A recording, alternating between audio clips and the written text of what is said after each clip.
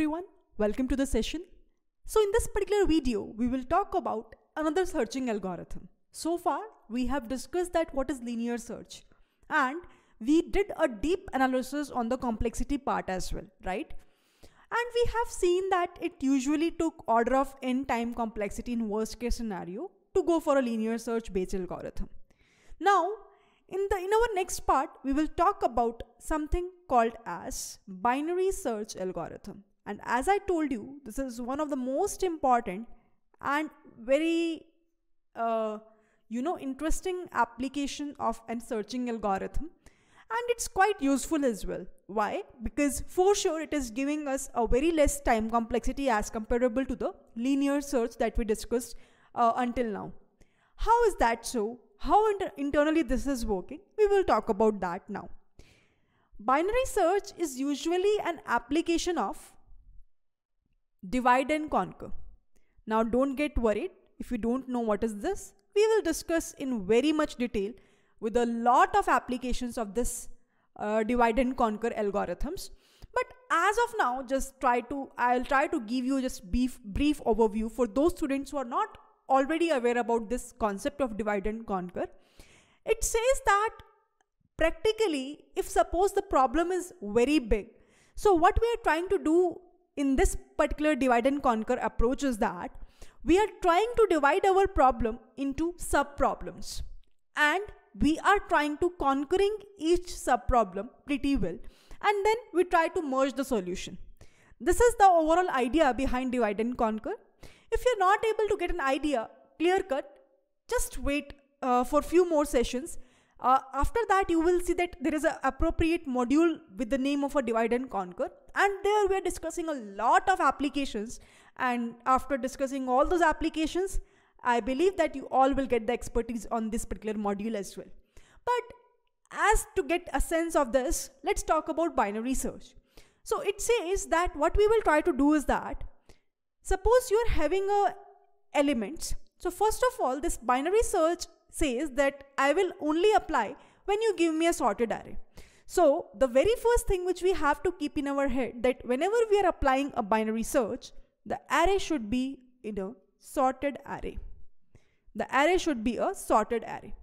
It means that, for example, you are having something like this. In increasing or decreasing fashion, doesn't matter. So here I am taking an example of increasing order array that I have. For example, I am having 2, I am having, let me write somewhat bigger so that you guys will not face any issue. 2, 4, 8, 12, 20, 25, maybe 50 and 70. Suppose these are the elements that we have in our array. By default, the index will start from 0. So it will go 0, 1, 2, 3, 4, 5, 6 and 7. So this is the array that I have, right? And these are the indexes that are given to us. Okay. Now suppose, uh, first of all, you can clearly observe here, it's a sorted array. Suppose I want to look for a position uh, for an element 50 whose position is 6. So what I am saying is that I am searching for an element 50 here. So how basically this binary search approach will work, that's what we supposed to see here in this session. So first of all, what's a small problem here? What should be the small problem in this particular scenario? You can say that small problem is something when I am having only a single element because when I am having a single element in an array, so at that point of time, only one if condition is required. For example, if suppose I am saying that this is an array that you have, which contains only 50. Only single element is there. Now, what you can do is that suppose you are looking for a 50 only. So you will just have to apply only one condition that if the value which you are looking for and the value which is present in your array is equal equal to x, there is no need even to apply any for loop here. If yes, you can simply return the value of i. Otherwise, you can simply return the value as minus 1 because there is only one element which is present. So there is only only one condition that we need to apply here. That is pretty much fine. But if suppose we are having more than one element, which is a practical scenario, right? We usually don't have a single element in an array. If we want to store any single element, then why there is a need for an array, right? Array basically stores multiple elements, right? Because if we are we want to store any multiple elements. It's not like that we will create other variables. It's like 50 elements 50 different variables. No. At that point of time only this array data structure need will come right? So it means that when the problem is a big problem means by saying that when the array size is quite big at that point of time what we will try to do using a binary search we will try to find out first of all the middle value middle index so how basically we will be able to find out the middle index we can take the there are two ways so first of all i is the starting index that we have which is 0 in our question in our example and j is the ending index that we have which is 7 in our example. So one way to find out the middle value is we, you can directly do what is the value of i, what is the value of j divided by 2 simply. This is how you will be able to find out that what is the mid value. For example, here you are saying 0 plus 7 divided by 2. So here it will take the lower bound and you will be able to get the value as 3 it means that this is the value which it is considering as a middle value. This is the very first step that you have to do. Another way to calculate the mid value is the same way but the approach is different i plus j minus i divided by 2. Now the question is that which particular approach should we use this one or this one while evaluating the mid? Even though you will get the same answer. So here also the value of i is 0 the value of j is 7 7 minus 0 is 7 divided by 2 it will be equals to 3 but i would say the best approach is to go for this way. Why i am saying this? Because usually what happened is that it might be the case that the summation of i plus j is very much high that it will cause a problem of overflow right at that point of time, this particular uh, way will be the cure. So by default, always make a habit to use this kind of approach to always evaluate any kind of a middle value. Now, once you will be able to calculate the middle value, what you can do is that, why it is called binary? Because here we are dividing our array into two halves.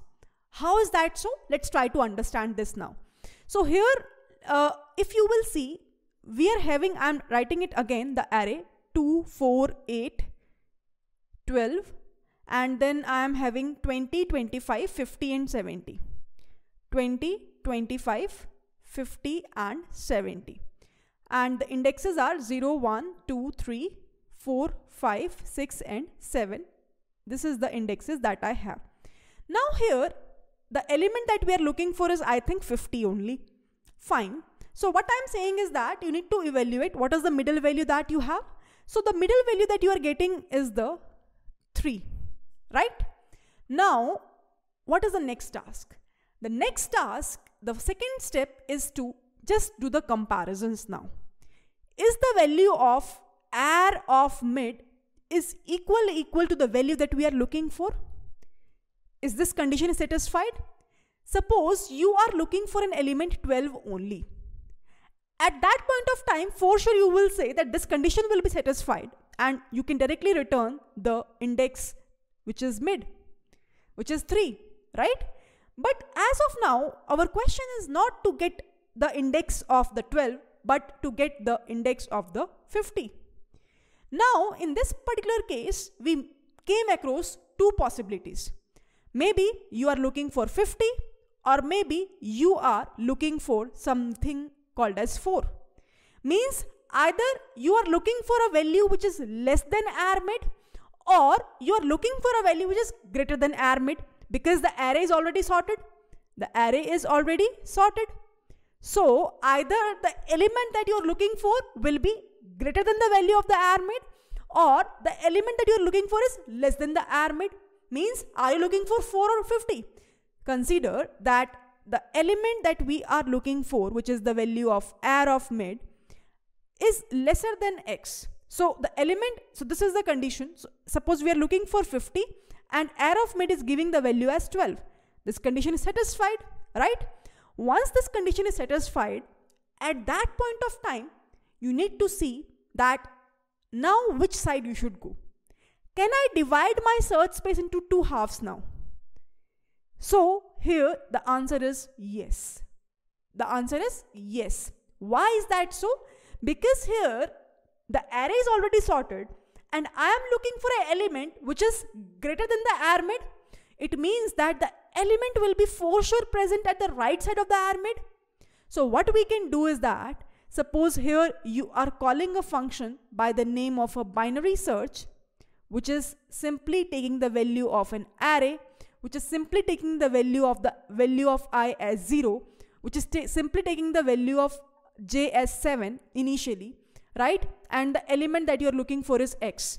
Means your function which is the by the name of a binary search is taking the initial values as r the value of the i the value of the j and the value that you're looking for but now what you can do is that you can call a recursion now what is recursion recursion is simply calling the same function again inside the method definition but with different set of parameters. So here what you're trying to do is that you are trying to call this binary search function again because you want to do the same task again. But now note on the complete array which you initially passed as the main function.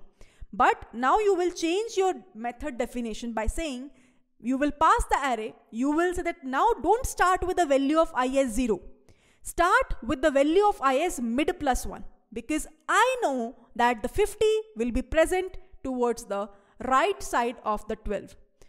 50 should be present at the right side of the 12 because the elements that I am looking for is greater. So here instead of passing the value as i, we are passing something called as mid plus 1 and then we will go towards j and the value x will remain same. So this is something where you can say you can call the recursion. And you can do without recursion as well by simply changing, the value of i as mid plus 1. Or what you can do is that you cannot call the recursion but you can change the value of i as mid plus 1 simply. So this is a kind of a pseudocode which is applicable for all the programming languages which you want to solve, which you want to use. But here what I want to describe is the logic that what is the logic behind the binary search, how internally it will work. Now, this is the one scenario. Another scenario can be that the element that you're looking for is 4. It means that the element that you are looking for is lesser than the value of armid. Means armid is having a value of 12 but you are looking for 4. This condition will be true. At that point of time, again you are pretty sure because the element that you are looking for is less than the value of armid. I will go for the right, left side of the armid. It means now at this point of time, which particular parameter you will change? You will change the value of j which will become mid minus 1 because now you know that there is no need to traverse at the end of the array. I should traverse until the value of the mid minus 1. So here what you will try to do is that if you want to use recursion, then you need to call the same function again, just like the way I did above, where binary search, here you are saying add, here you are saying the value of i, you are passing the value of mid minus 1 and the value of x. Or if you don't want to use any recursion, you can simply say the value of j will become mid minus 1. And that's it. That's it until unless your value of i is less than the value of j and you are making uh, these conditions, if they're satisfying, for sure you will be able to get the index. If it's not satisfying, at the very end, once it will be able to traverse the complete array, you can return minus 1, which indicates that the element is not at all present in an array. But now here, the one thing that you need to understand Again, this is something which is recursion. Calling the same function again, but with different set of parameters. Now, one thing, one thing which you need to understand is that, that at each and every time, we are dividing our search space into two halves. We are saying to our code that don't traverse complete array, just like the linear search. we are saying that either you should go towards left side of the array or you should go towards the right side of the array. Either you should, you should go towards the left side of the mid or you should go towards the right side of the mid. And accordingly, we are solving our searching space. And that's why I would say there is a need of a sorted array. If suppose the array is not sorted, then how my code will be able to decide that whether I should go towards left or right? There is no way. That's the only logic behind saying that there should be a sorted array whenever we are applying a binary search. By saying that, you need to understand logically why is that important. Why we are saying that aspect. That's the very important thing that you need to understand here. There are a lot of interview questions which you can face on this concept. This concept is pretty easy, but they used to modify the questions a lot. And obviously in this, in this course, we will discuss each and every aspect of the interview based questions as well. But before discussing those things, it's a preliminary thing, fundamental should be strong. You should logically and as well as practically able to implement everything before we will move ahead towards the other part of our video.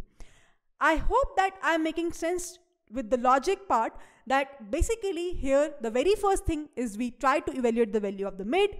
Here I told you the two, two approaches and I'm saying the second approach is the best one as comparable to the first. I gave you the reason as well. After that I talked about the logic where after evaluating the mid value we are just checking the three conditions. Is the value is equal to x? Is the value is less than the x? Is the value is greater than the x? Where x is the element that we are searching for. Now, there are two ways to solve this particular problem, either using recursion or without recursion. Even for every recursive code, you have a iterative approach as well. That's a very important thing to keep in your head. So here, when you are calling the same function again, it means you're using the concept of recursion. If you're just changing the parameters, it means that you are doing an iterative approach here. So that's the overall idea behind the binary search. Now, I want to just uh, talk about the logic in this particular video because I want to give you the time. In the next video, we will talk about the recurrence relation for the same. I know until so far we have only, only discussed that how we can solve any recurrence relation. And I remember that at that point of time I told you that when the time comes, I will also show you that how we can form up any recurrence relation as well. And now I think in the next video that time came up. So now we will try to understand that how basically we can form up any recurrence relation. Once I will be able to show you that how recurrence relation will be formed up, once I will be able to show you that what is the recurrence relation for this binary search, I am expecting you all to give me the final big O time complexity, which you all know we can do with the help of three methods, substitution, masters and recursive tree approach. I hope that everyone remembers all those concepts pretty well because now in the upcoming videos, there is a need of all those fundamentals which we have already covered up in our analysis module part, right? I hope everything is pretty much clear to everyone. With this, happy learning to all. Bye-bye everyone. See you soon in the next upcoming session.